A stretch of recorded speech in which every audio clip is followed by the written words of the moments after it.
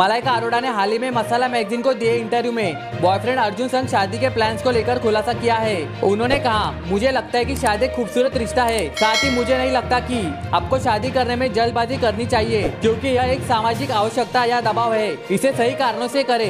कई बार माता पिता आपको मजबूर करते हैं और लोग कहते हैं कि आपकी बायोलॉजिकल वॉच टिक कर रही है। अगर आप सही व्यक्ति के साथ है तो यह खूबसूरत रिश्ता है। जब मेरी शादी की बात आती है तो मुझे लगता है कि मैं अभी इसका जॉब देने के लिए तैयार नहीं हूँ। अर्जुन के बारे में बात करते हुए उन्होंने कहा, अर्जुन के बारे में सबसे अच्छी बात यह है कि न केवल मैं उनके साथ रिलेशनशिप में हूँ, बल्कि वो मेरे सबसे अच्छे दोस्त भी है। अपने सबसे अच्छे दोस्त से प्यार करना और उसके प्यार में पढ़ना बहुत ज़रूरी है। अर्जुन मुझे मिलते हैं, वह मुझे समझते हैं, वो उसे वैसे ही कहते हैं, जैसे चीज़ें हैं। मुझे लगता है कि हम दोनों एक दूसरे के सबसे बड़े चेयर लीडर भी है। मैं उससे सूरज के नीचे कुछ भी और हर चीज़ के बारे में बात कर सकती हूँ। रिश्ते में होने के बारे में यह सबसे महत्वपूर्ण बात है। आपको सिर्फ़ अपना सच्चा शो होने में सक्षम होना चाहिए और मैं सिर्फ़ अर्जुन के आसपास हो सकती हूँ।